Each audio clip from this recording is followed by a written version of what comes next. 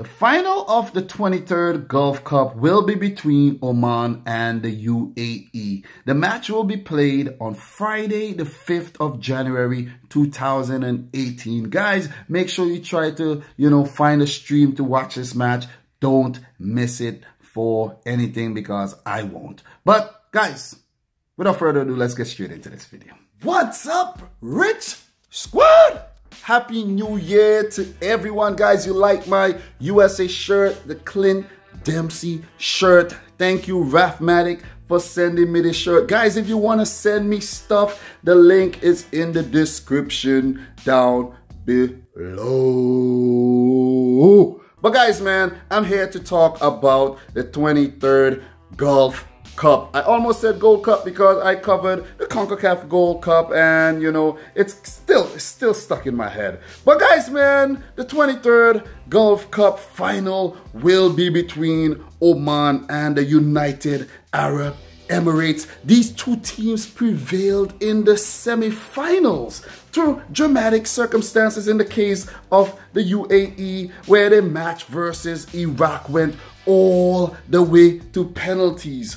Oman's victory over Bahrain was a, a, bit of a lucky one. You know, they got an own goal. You know, it was a corner and the ball came off the Bahraini defense and defender and went in the back of the net to sink the Bahrain team. So we will see Oman versus um, the UAE in the finals. The UAE versus Iraq match was so exciting, guys. I actually predicted that Iraq would win that match, but the UAE prevailed 4-2 in penalties. The game went all the way to penalties, man. The two teams couldn't be separated in normal time. It was nil-nil. And then 30 minutes of extra time, still nil-nil. And then it went to penalties. The Manchester City versus Watford match was even playing during this. And I chose to actually watch the end of this Gulf Cup semi-finals because I figure, you know what? It's a new year. Let me, you know, put a little bit more importance on this international tournament that's currently going on. I can always catch up with the Man City games, and I actually did. And I saw Man City go on to defeat Watford 3 1. But I'm here to talk about the 23rd Gulf Cup final between Oman and the United Arab Emirates. So, who do I think will win this match? Well, hmm. Oman, I don't really, you know, I don't really like how they played versus Bahrain. I think Bahrain was the better of the two teams, but they was just unlucky to get that own goal. And Oman, you know, they made it to the finals. But the UAE, man, they have this guy.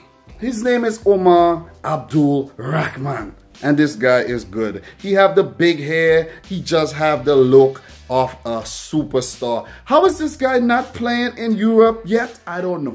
I don't know. I've heard about this guy for quite a while and he's awesome. I have to do a reaction to some of his skills and goals and stuff, you know. That would make an awesome reaction video. Should I do a reaction video like that, guys? Let me know in the comment section down below. But the United Arab Emirates, they failed to qualify for the 2018 World Cup. They barely missed out. Oman also failed to qualify for the 2018 World Cup. So this is a chance to redeem themselves in an international tournament, a very prestigious tournament, which is the Gulf Cup known as the Arabian Cup or the Persian Gulf Cup as well.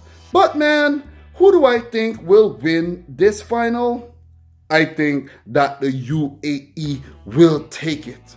The UAE, you know, I'm, oh man, guys, any team that has someone as special as Omar Abdul Rahman, you know, it's a very good team. I, I, I I still can't understand why he's not in Europe. But let me stop, let me stop, you know, talking about him being in Europe and stuff like that. He's probably just fine playing where he is. He's probably playing in the UAE, is he? I'm not really sure where he plays his football, but he is an awesome player. So I think the UAE will run away with this game 1-0. It's not going to be a high scoring game from watching the two semifinals I don't think there's going to be a high scoring game. So 1-0 win to the UAE. they will lift the 23rd Gulf Cup title.